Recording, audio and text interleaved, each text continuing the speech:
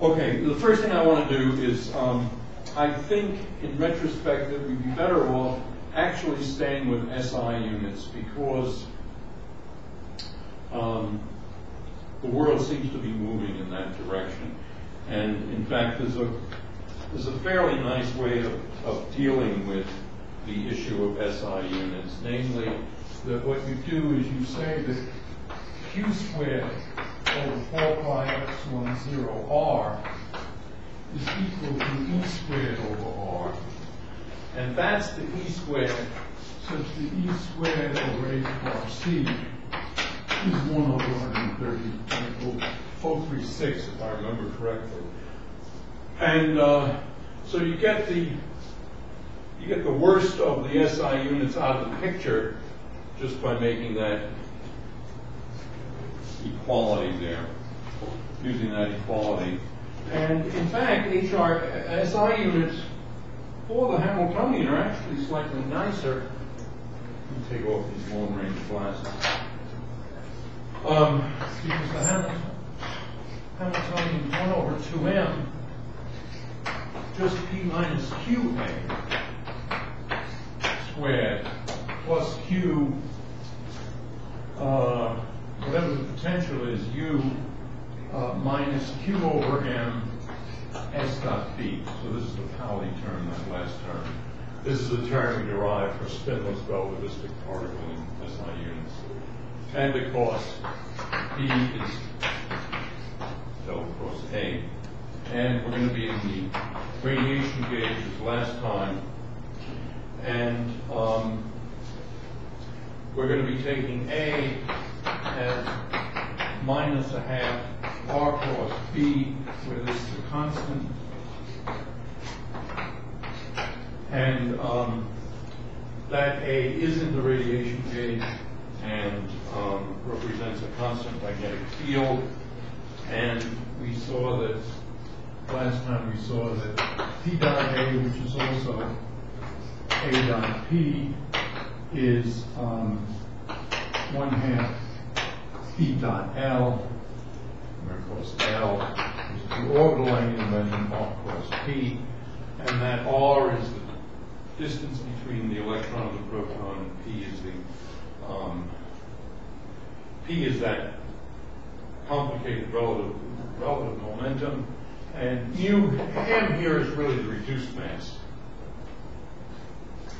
Um, and so what we find is that um, H then is, in fact, let me just,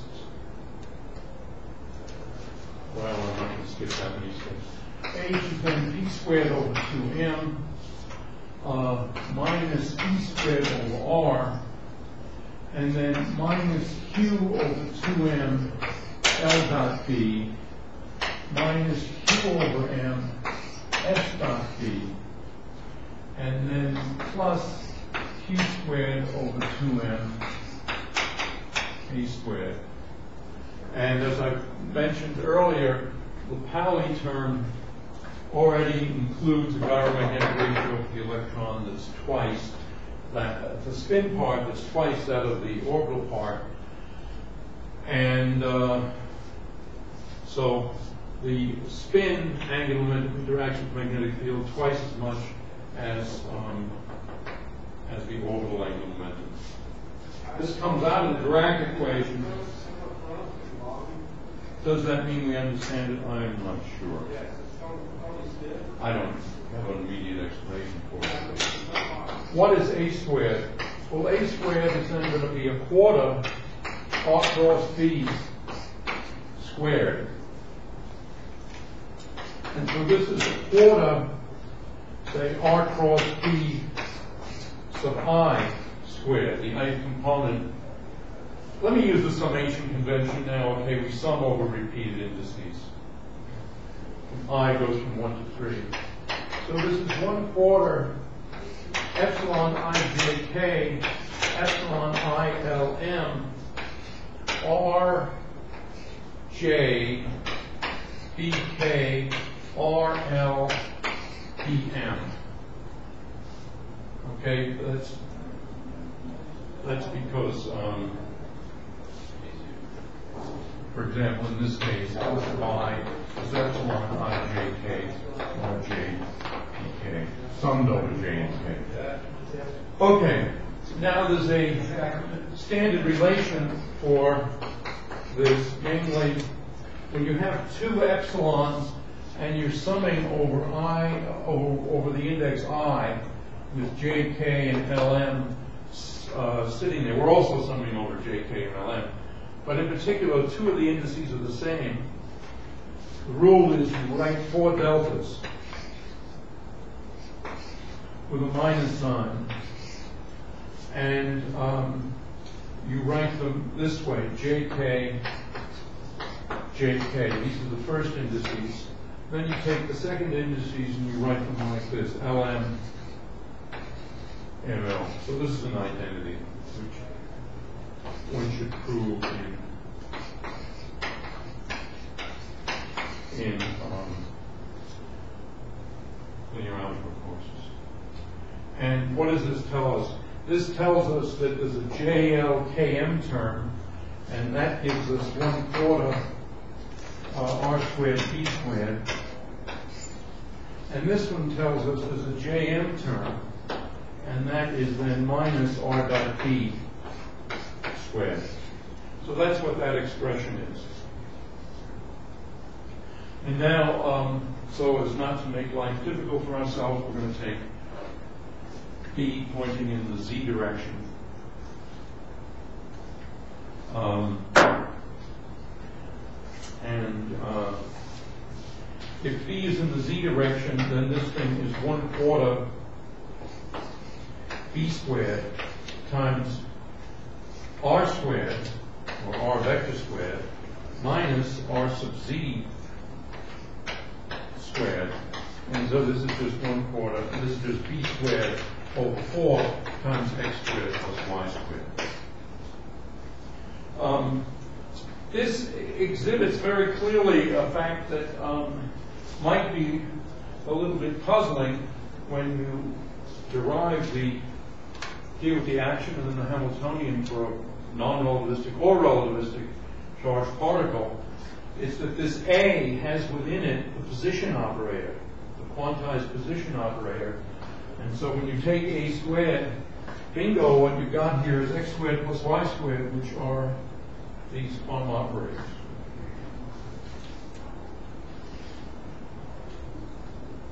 So now, um, what one does still in SI units, we introduce the Bohr magneton, which is QH bar over twice the mass of the electron, or I think it's more probably the reduced mass of the electron. But anyway, that's what we're dealing with. And this is approximately 9.27 times 10 to the minus 24 joules per Tesla. And just to get an idea what a Tesla is, the, the highest magnets that people are able to make are roughly 10 Tesla. I don't know, maybe maybe these days one can get a little bit beyond that with some some superconducting magnets. Maybe you can get to 20 Tesla. I don't know, but I don't. I'm I'm pretty certain we're not getting anywhere near a thousand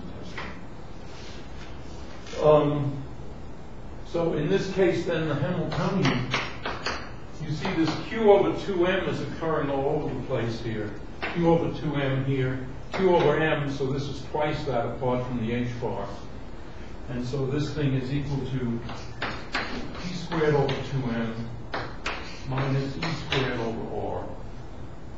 And then there's another term, minus mu b over h bar. And one might as well write this as lz plus 2sz. Oh, I didn't do that in my notes. And the third term is q squared b squared over 8m and then x squared plus y squared. And the sensible way to think about this is that this h is equal to h0. We know the eigenstates of this Hamiltonian because we figured them out last time. And then plus h1, which is this stuff, and then h2. And um, it turns out for the sort of magnetic fields that one can make in the laboratory, let's see, I'm, I'm writing here in a, this is sort of a typo here, so let me just fix this. This is the Bohr magneton times the magnetic field. All right, so what we'll see in a, in a moment is that these energy levels, the ground state is minus 13.6 electron volts, and uh, as you go up, uh, the next one is, uh, remember there, these levels are En minus 13.6 over n squared, and so for n equals 1, you have minus 13.6 eV, but for n equals 2, you have a 4 there, and so the gap between the, the ground state and the first excited, the n equals 1 and the n equals 2 levels, is something like 10 electron volts. And then the next one, n equals 3, has uh, uh, 3 squared, which is 9. And uh, so its level is about uh, 4. Anyway, anyway, they, obviously get tired. It looks sort of like this. Eventually you get infinitely many of them. Um, but the gaps here are the order of electron volt or, or a few electron volts. Uh, the gaps here will be down by about 10 to the minus 4 for reasonable magnetic fields, strong, lab scale strong, and this will be around 10 to the minus 8 electron volts. This is why this is why quantum mechanics was adopted quickly in the early 20th century, because if one had instead a situation where um, this was 13.6, and this was maybe 20, and this one was 40 eV, then um, might have been might have been slower adopting quantum mechanics.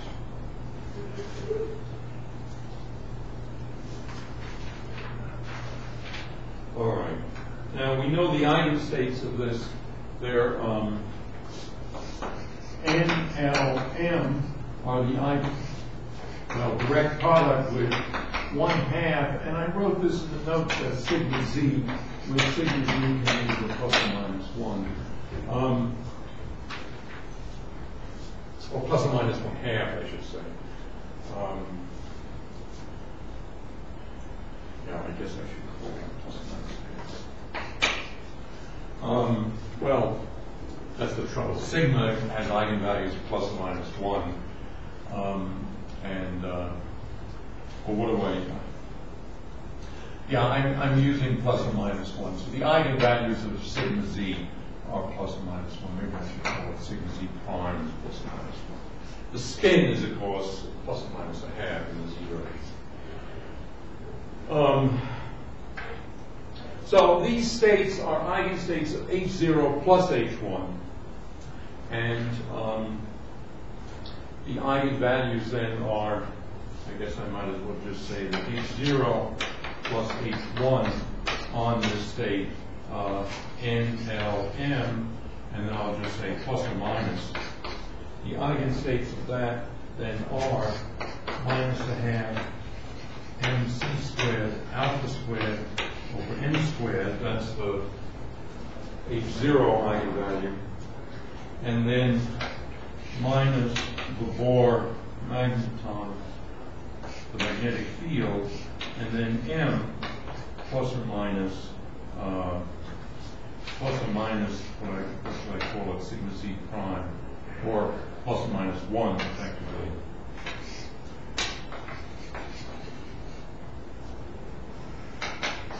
So if, if I'm calling it plus or minus, let me just call this plus or minus. Okay, so those are the those are the um, so you have the eigenstates of H0 plus H1, and um, the splittings then, uh, due to the magnetic field, are um, the Bohr magneton, the magnetic field, times m plus or minus 1. And notice here that this is the this is the z quantum number for the orbital angular momentum. This is the, this is twice the z quantum number for the spin angular momentum. And which just recapitulates that, uh, H1 is of the form, is of this form, UB over H bar LZ plus 2 SC. Now, um, how big are these terms? Uh, as I said, the EN zero minus a half n c squared um, alpha squared over n squared minus 18.6 EV over n squared and um, En zero over Planck's constant gives us frequencies of the order of 10 to the 14, 10 to the 15 hertz. Um, so that, that tells you, by the way, the scale of um, radiation that can cause chemical changes, just roughly speaking, from the point of view of biology or medicine. You're at or above this range here, 10 to the 14 to 10 to the 15th hertz, then a single photon can cause a, uh, a chemical change. It could shift an electron from one level to another in hydrogen, or it could break a double bond and so forth. So that's, that's basically the range. Does anybody know what the cell phone frequencies are? Actually, you've got a live laptop there, right? Can, can you do a uh, Google cell phone frequency wiki and just see what the cell phone frequencies are? Because I think it's instructive to point out that cell phone frequency, cell phones are very unlikely to cause medical damage because the frequencies are so much lower.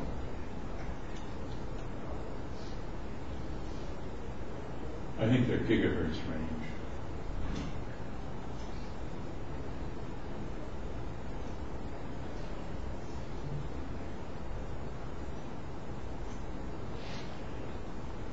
Um, There's no wiki article about this. you, you, you don't have a frequency for cell phones, roughly?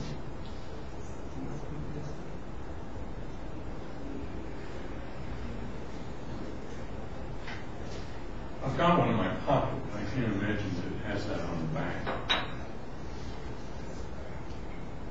Verizon says. No frequencies.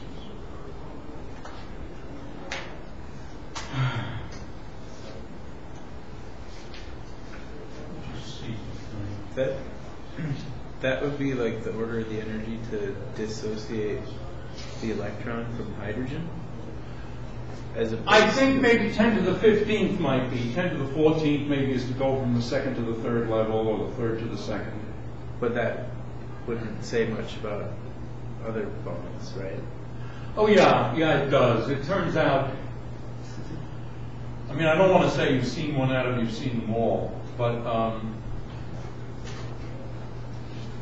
the atoms of life are all, uh, it's mostly hydrogen, oxygen, nitrogen, carbon, uh, sulfur, and then minuscule quantities of other atoms. And um, the energy levels of double bonds are typically five electron volts. We have lots of fre- frequency. Uh, US is 1.9 gigahertz. 1.9 gigahertz. So this is 1.9 10 to the 9th, right? Giga is 10 to the 9th, right? So you see there's a huge gap here. There's 10 to the 5th just to the low, to, just to this one. And um, so that means that instead of uh, EV energies, you're talking about 10 to minus 5 EV. And that can't affect the molecules. And um, so that's why all this stuff, I, don't know who's behind it, but every couple of weeks there's an article about cell phones killing people, causing brain cancer.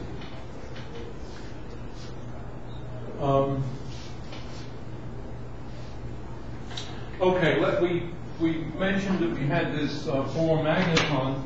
Um, another way of thinking about that Bohr magneton uh, is to say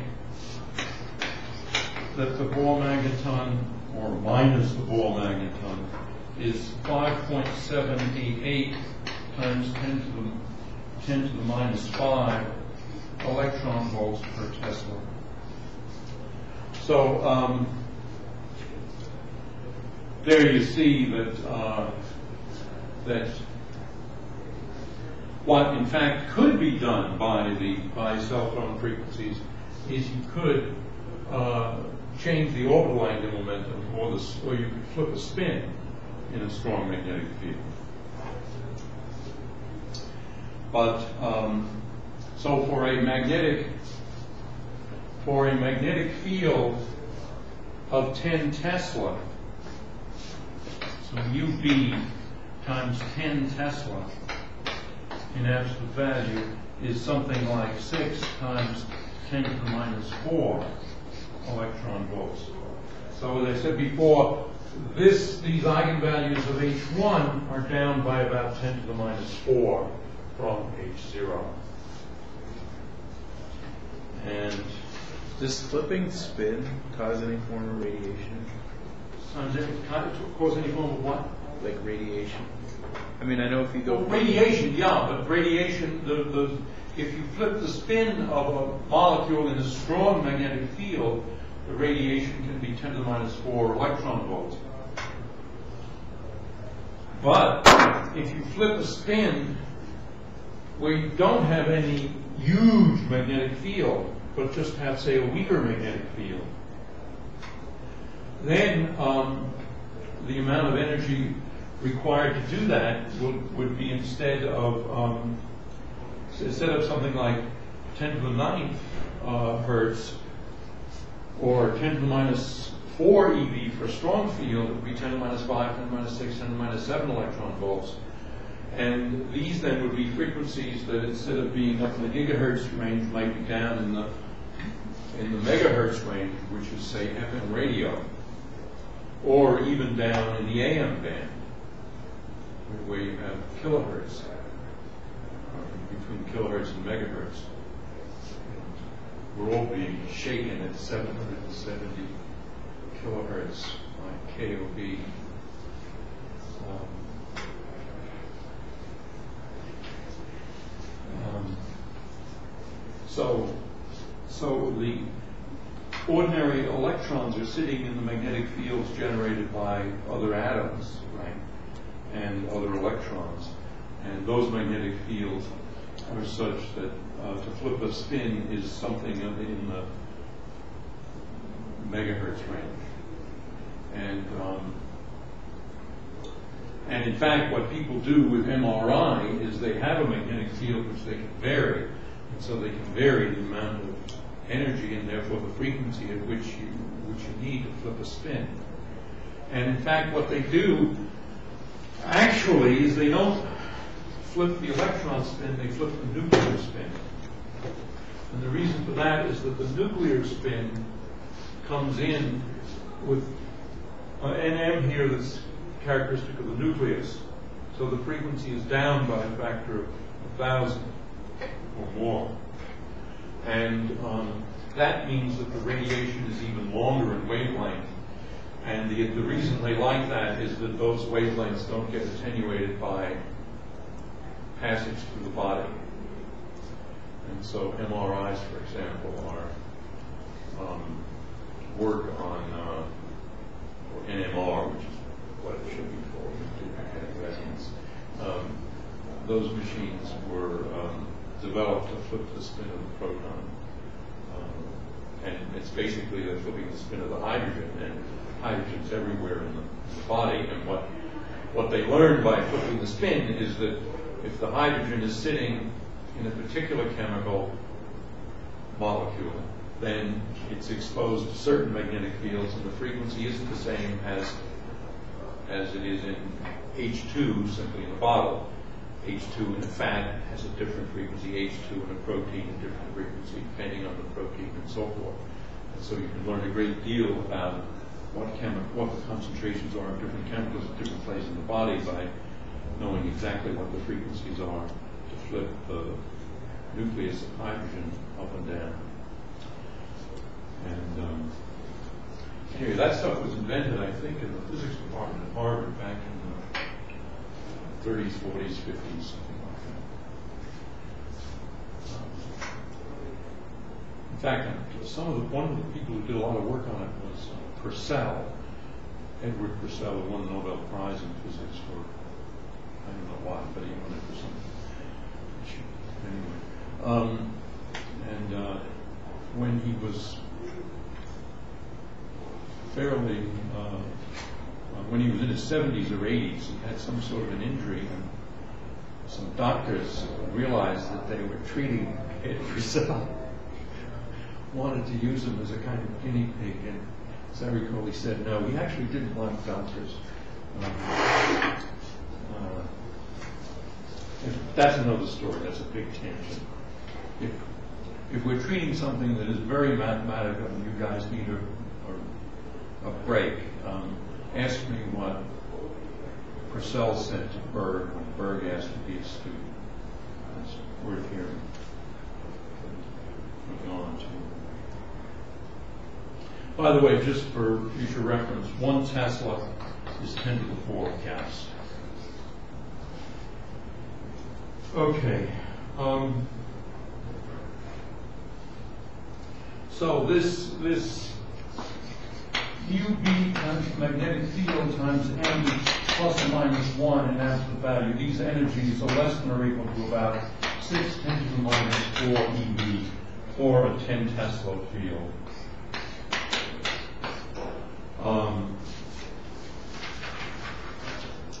and to estimate the, the magnitude of these and to show that they're down by another factor of 10 to the fourth, we can just realize that the mean value of x squared plus y squared is of the order of the Bohr radius squared, and the Bohr radius is h bar over, this again the reduced mass e squared squared, and uh, by the way, the Bohr radius is uh, 0.52 angstrom. For some reason, I said 5.9.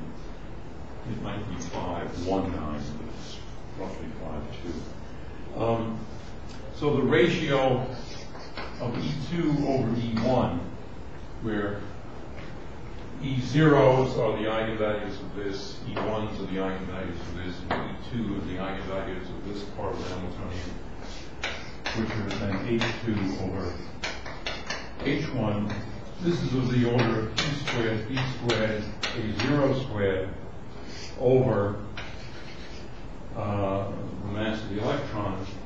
That's the H2 part. I'm leaving out just ordinary numbers. 1 over the Bohr magneton times B. And um, so this is uh, the same as Q squared, B squared, A0 squared over M times M over Q H bar B. Now I'm going to write this one more thing. Q H bar B over M times 1 over H bar squared over M A0 squared. Now H bar squared over M A0 squared well, the mean value of P is essentially H bar over A0. That's just roughly the uncertainty principle in uh, a certain amount of hand waving. It's uh, H bar over that. So E0 is of the order of P squared over 2M, which is to say H bar squared over m a0 squared. So this thing here is E0. So this is E0. And um, the thing in the top here is QH bar over M, that's UB times B. So this is E1 over E0. So in other words, E2 over E1 is about the same as E1 over E0. So they're both factors of 10 to the 10 to the fourth. And The frequency, by the way, that characterizes these transitions here is called the Larmor frequency. And um, so that's uh, omega sub L. And unfortunately, I didn't, I didn't write down that, I don't, there's a factor of two that's, so let me just say that the, roughly speaking, the Larmor angular frequency is um, B over um, over H bar. That's the that's called the Larmor frequency. There may be a factor of two though. Lar more. So that characterizes the Larmor frequency times H bar is roughly is, is mu B times an integer, and it is roughly the energy of these H1 eigenvectors. Okay.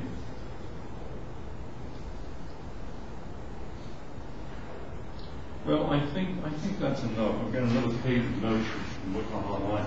I've corrected the online notes um, and added the stuff about the Larmor frequency, but I forgot to print out. Okay, so any questions before we go on?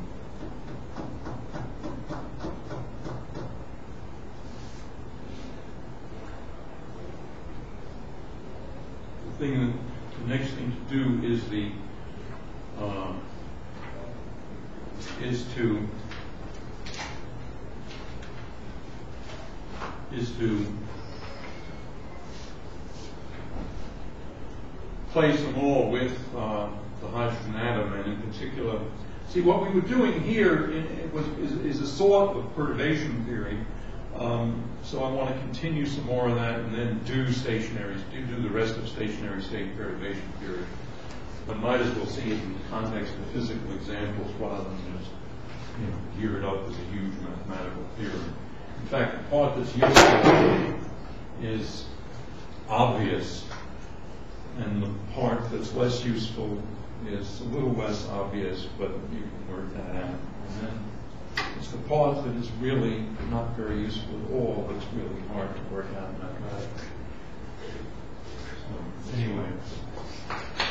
So, we're imagining then that uh, we know the eigenstates of uh, the Hamiltonian H0. Um, and we'll say that each level has gn states and i that are degenerate uh, all with energy En0. Okay, so I'm going to be looking at the degenerate and non-degenerate cases. First order, essentially uh, the same way. I'll first do de- non-degenerate, then degenerate. So now let's imagine that we have a Hamiltonian that of the form H0. I wanted to write plus and I wrote zero. I don't know what that means. Plus lambda v. H0 plus lambda v Lambda is a small dimensionless parameter.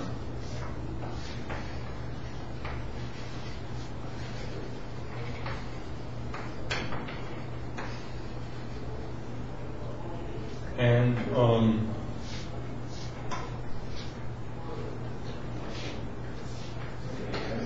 so um, the energy levels then of the eigenstates, we can label the eigenstates with an index alpha. The eigenstates will be we expect En 0 plus some delta E and alpha of lambda. And to first order, we expect that uh, En j of lambda will be approximately En 0 plus lambda En alpha 1. I'm not quite sure why I wrote J instead of uh, alpha. I think this probably should be an alpha. Okay, so if, if n is, if gn equals one, so non-degenerate case.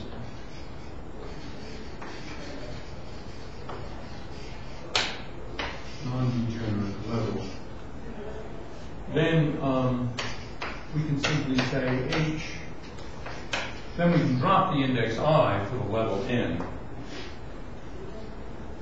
And this is equal to n h zero plus lambda v n. And since h, n is an eigenstate of h zero, we get en zero plus lambda n v n. And in fact, we're done. So that's the, that's what I meant by saying the important part of non-relativistic, a important part of perturbation theory is just obvious. Uh, and we have that result. So that's, so we're essentially done. In other words, uh, En1 is just simply n lambda n, no, there isn't even any lambda. It's n n. So that's the end of the non-degenerate case of first order perturbation theory. And so it's just, just do the straightforward thing, take the mean value of the Hamiltonian in each of its eigenstates. And the picture is that you have E one zero here, E two zero here, E three zero here, and then due to this perturbation, uh, this one gets shifted a little bit to here, this one gets shifted a little bit to here, this one gets shifted a little bit to there. And so these, the corrected energy levels then are the En zeros plus lambda times the mean value of the perturbation in the nth energy level. So, so that's that. Now, for the degenerate case, it's almost as simple, it's just that you have to remember that, that you know about linear algebra. And just as over here, we assumed that the correction to this first state, to first order at least, was only going to involve the, the state, the eigenstate of the, the lowest eigenstate. It wasn't going to involve this, it wasn't involve the state two or the state three, it was only going to involve the state one. So to make the same statement here, you start out with, imagine you have, let us say, three levels, but each of these levels might be degenerate in different ways. So now we've got these levels, and now what you imagine is that the correction to each of these levels only involves these levels. In other words, the to first order, the change, the perturbation is going to mix these two levels, and give you two new levels, but it's not going to involve any of these levels. And so what you say then mathematically is that the lowest order, the, the state n alpha is going to be a sum i equals 1 to g sub n of ni, ni, n alpha. So the fact that we've got n everywhere here means that we're only going to mix, if we're looking for the first order correction to one of the levels, to any of the, to all of the levels, in the third set of levels, we only use the states in the third set of levels, which are these guys here. And so now, um, we just have the the eigenvalue equation. And we'll say that this is H0 plus lambda v times. Let me, let me go back to the summation convention, just, so we're going to be summing over this index. Well, maybe it's better now. Ni, Ni, N alpha. And now H0 is an eigenstate of Ni, and so this is simply E0 plus lambda V times the sum Ni, Ni,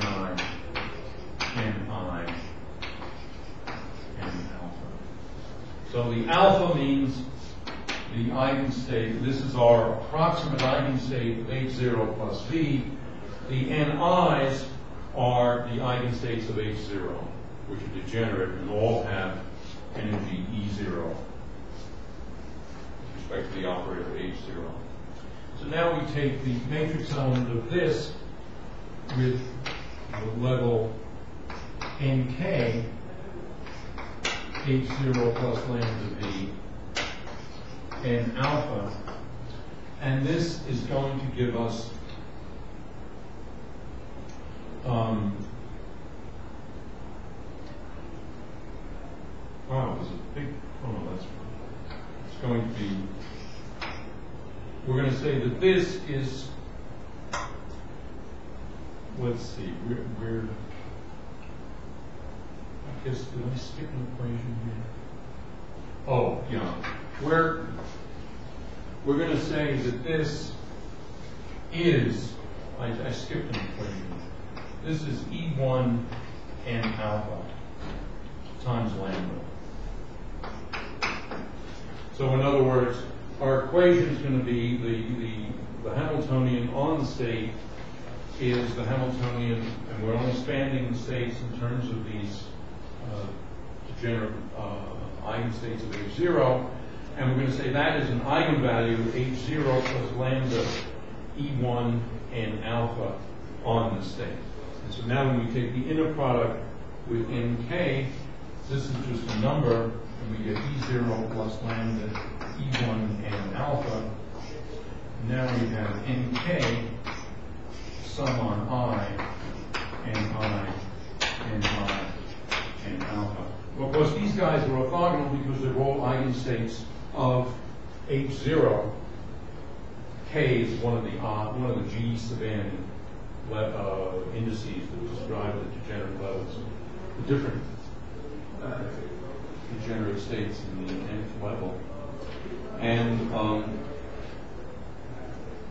so, in other words, in K, in I is delta Ki. And so this equation then becomes Nk, and of course, um, Nk being an eigenstate of this, this becomes Nk E0 plus lambda V, and alpha equals E0 plus lambda E1 and alpha, and this is then um, um, nk and alpha.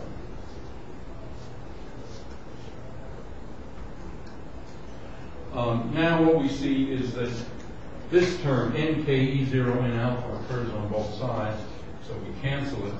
Then we cancel the lambda, and what we have is nk d and alpha is E1 and alpha nk and alpha.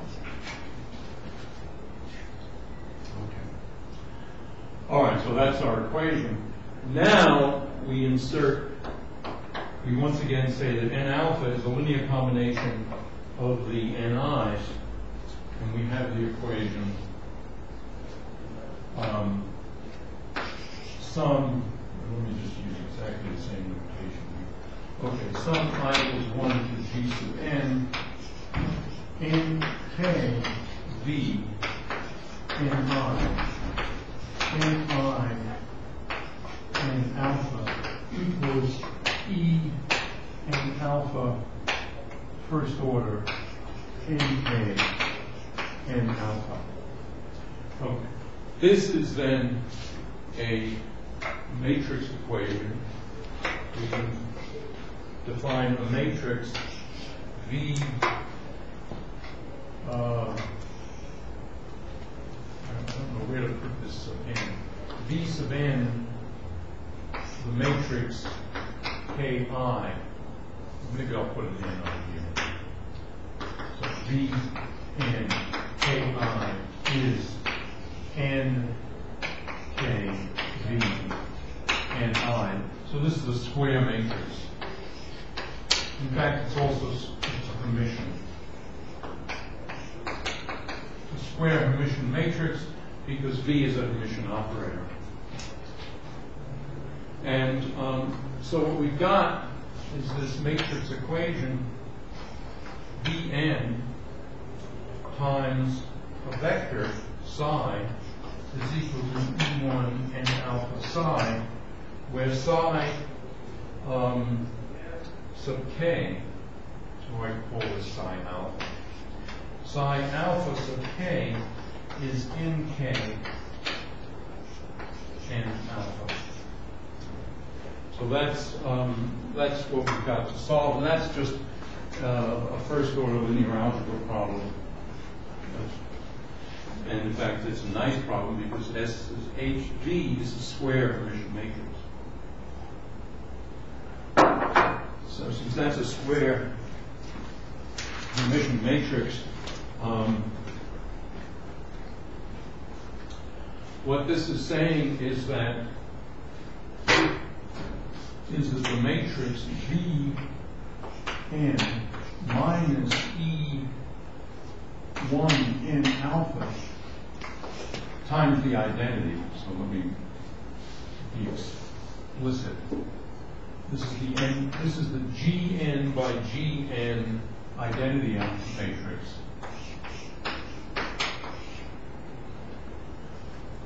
So this is, is the Gn by Gn square Hermitian matrix Vn. And so this combination of V minus the eigenvalue times the identity sends a vector into the zero vector, and that means that the determinant of Pn minus E1 n alpha equals zero. And um, that's a polynomial equation uh, in this eigenvalue, and then you can solve the you can solve the polynomial eigenvalue. We always do that in physics. I don't know why we quite do that, but we say, okay, this is this equation. That implies its determinant is equal to zero, so just solve this equation. Well, of course, that's that's kind of silly because if this were a 20 by 20 determinant, doing it with your fingers would be hell, and would be a, polynomial equation of 20th order, and you'd have to use some some some sort of approximation procedure because you can you can solve quadratic equations easily. There are formulas for cubic equations, but they're not fun to use. I believe there are also formulas for quartic equations, and there aren't any formulas for quintic equations. Beyond that, well, I mean, fifth order beyond, you're, you're, you have to use some sort of approximation procedure. Whereas in fact, there, are many, many linear algebra routines that will take a Hermitian, will take a Hermitian matrix, or just any matrix, any, any matrix at all, doesn't even have to be square or Hermitian, and will find you the, will do a singular value decomposition, and will find you these singular values. And if it's in fact a Hermitian square matrix, those singular values will be the eigenvalues. And uh, the singular vectors will be the eigenvectors. So going to this step is, I don't know, it's almost like going backwards, but we always do it in physics courses.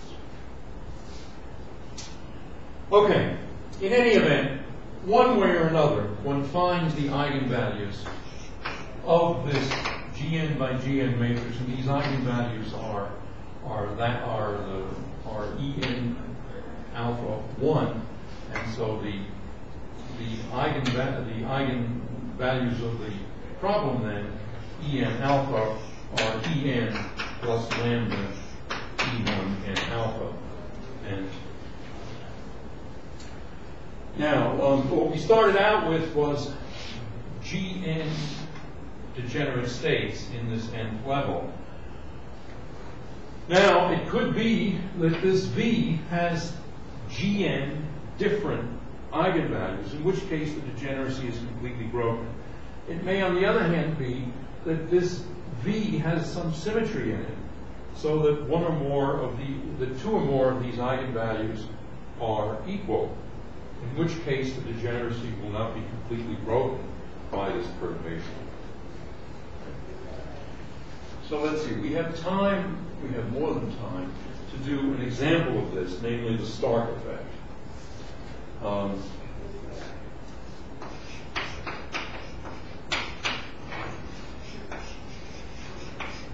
Okay, so this was worked out in the twenties or third, well, not the twenties, late twenties, mid twenties, late twenties, thirties.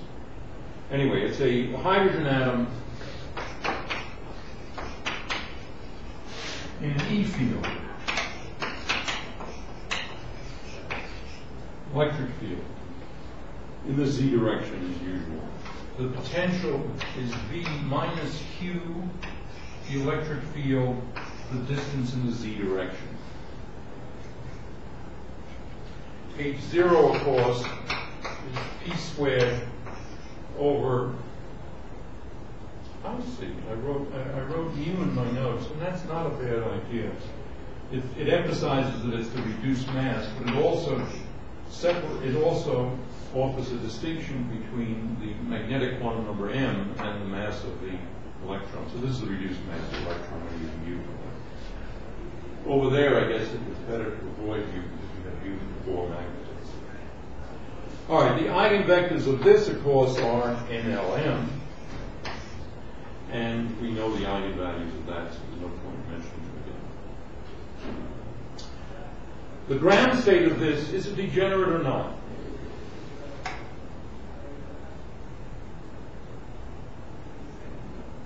Right, it's not degenerate. The ground state is n zero zero, and it's not degenerate. So the, we can use the first part of perturbation theory, the very simplest thing to say, one zero zero minus q e z, one zero zero. Now, what do you think this is?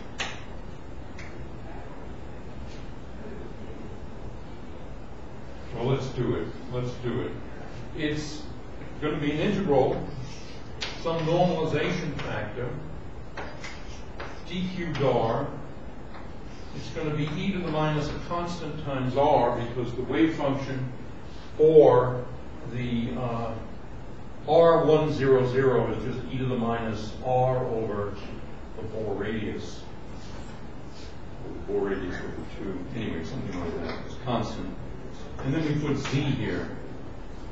And, uh, well, this is obviously 0 because this is spherically symmetric, whereas here, the upper, when z is positive, you get a positive number. When z is negative, you get a negative number. So the thing works out to zero. Equivalently, from the point of view of z, this is an odd function, this is an even function. So there's no displacement to first order in the first level. Now, something that um, I should have mentioned earlier is that if you take, consider the parity transformation, parity on x or r minus x. So you flip the um, space components, multiply them by minus one, say. Um, that's called the parity operator. And um, clearly p squared is 1 because if you flip twice, you're just back where you were. Well, p on NLM turns out to be minus 1 to the L times NLM.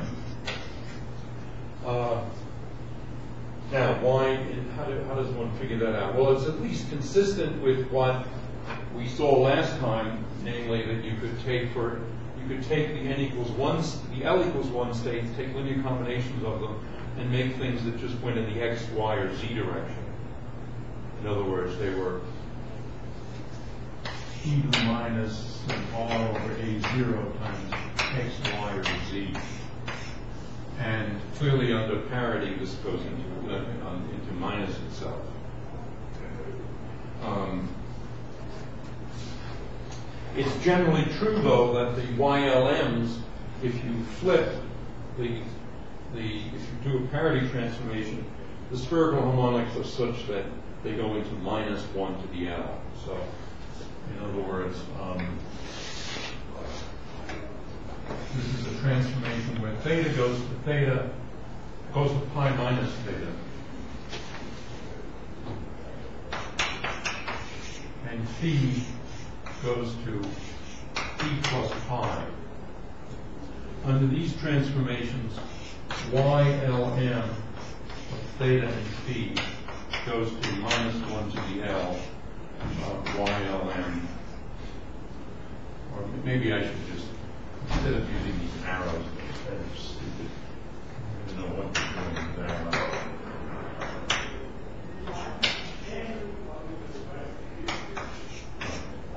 So you said 5 prime and theta prime like that, then this is a, an identity.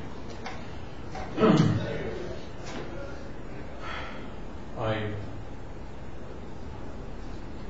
I think I ought to prove that in class next time, but um, I didn't prove it today. In any event, um, by the way, this can be used to derive this result. This is equal to 0 the way you do it is you say that, uh, in fact, this works not simply for the ground state, but for the state. Um, well, let's just look at the state NLM. Z NLM. Because that's what we have to deal with. And so you can insert here NLM uh, P, inverse or P adjoint? P Z. P inverse P and M. What's that line? Line's what's supposed to be there. And now um, P Z P inverse is minus Z, where P inverse is also P adjoint. And so this is minus NLM P inverse P Z NLM. But P on NLM is minus 1 to the L, so this is minus 1 to the 2L times NLM Z NLM. Well, this tells us then that all the diagonal elements in other words, minus NLM Z NLM. So this tells us that all diagonal elements of Z are zero. In fact, it tells us also that all NLM of just R NLM are zero because all components X, Y, and Z flip under parity. So, so then, um, so we have those diagonal elements of zero. Now, if we look instead at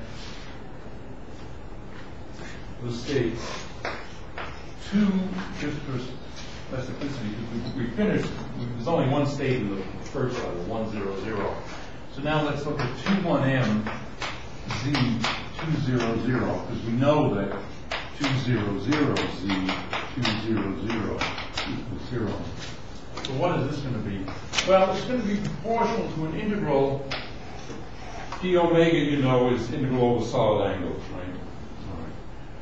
The this state y21m is going to have a y1m in it, but it's going to have a complex conjugate. Z itself is y11, no, y10. And the ground state, not the ground state, the second, any of the zero, any of the S states is just a constant. It's uh, in angular. I'm just doing the angular. There's also uh, r squared dr, but that's irrelevant here. Now, what do we know about this? We know that these guys are completely orthogonal. And so this is proportional to delta m0. And remember that y one zero of omega is cosine theta, and that's, uh, and z is r cosine theta. So in fact, this is actually r cubed and r squared, r, r two squared. Well, it'd be R two one times. To put in all these things, th- th- these are irrelevant. R two one, R two zero. They're real, so I don't need to worry about complex. So the perturbation then, V for the second level, the matrix, is has zeros on the diagonal because we, we learned that all the matrix element Z, diagonal matrix elements Z are all zero. And we can imagine then that this level is for the uh, two zero zero. This is two, now let me get this right because, right.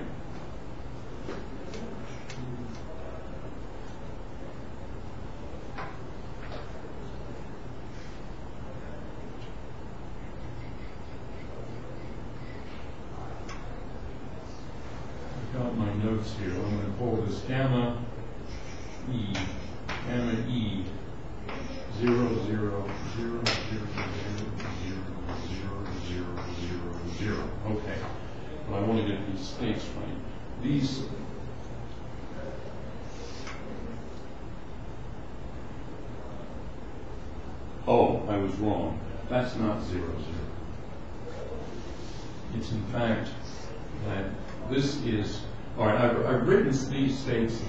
2, 1, 1, 2, 1, minus 1, and this one is, I guess, 2, 1, 0, 2, 0, 0.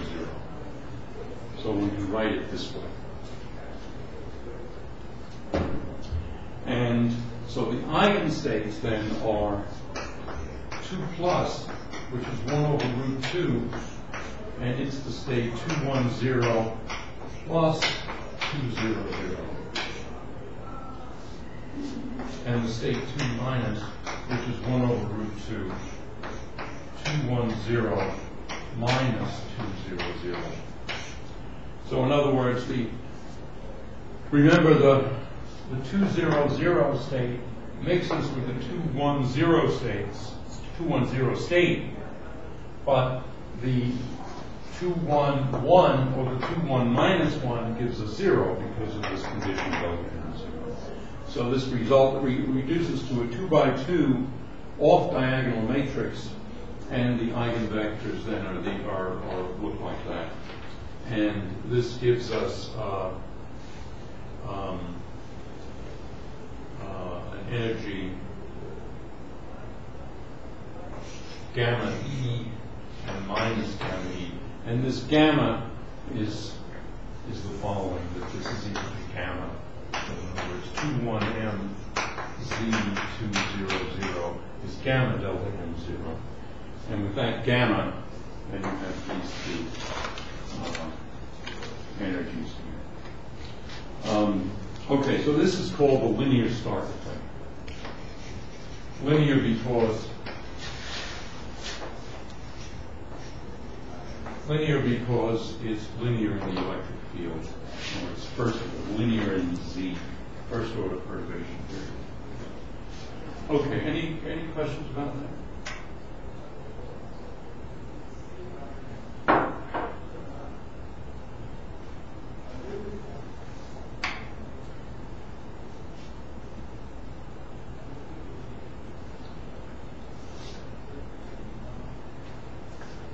All right, I don't know if I can actually start higher order perturbation here. But if we do, the idea is this. We have the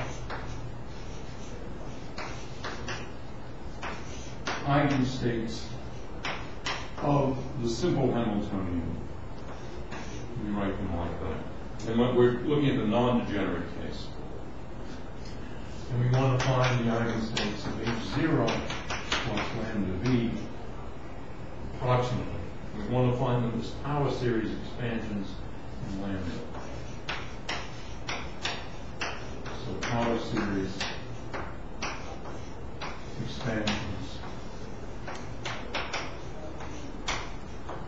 in lambda. And we have an H zero plus lambda V on the state n. We want that to be n n. Uh, That's what we're looking for.